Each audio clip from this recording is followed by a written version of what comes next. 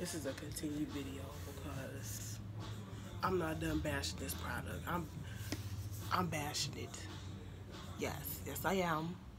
Yes, Mario, Badescu, whatever, however you pronounce this. I am so upset with this. This right here, oh no.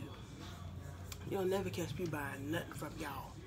Even though that's probably not gonna really like do anything because other people probably buying y'all buying y'all crap up anyway. I don't care. I'm not buying nothing from y'all. Cause I mean I was really trying.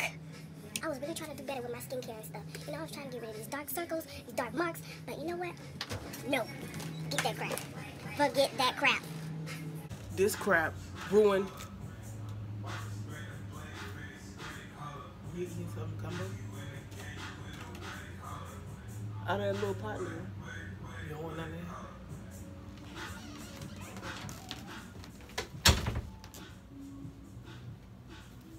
Hello, hi. This crap right here, do not buy it. I'm talking about rejuvenating facial spray. No, it's gonna mess up your face. Don't use this to set your makeup. You're gonna get you're gonna get burnt. Soothe your skin in dehydrating conditions. No, it will dehydrate. It will dehydrate your skin. Give your skin a quick boost. Oh, it gave my skin a quick boost, alright. A boost of breakouts. A boost of dry skin. That's what it gave me.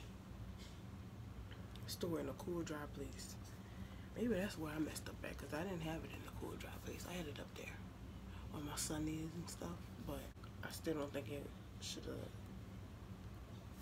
broke my lips out like that. Like, do you know how much Blistex I have to, I, I've gone through?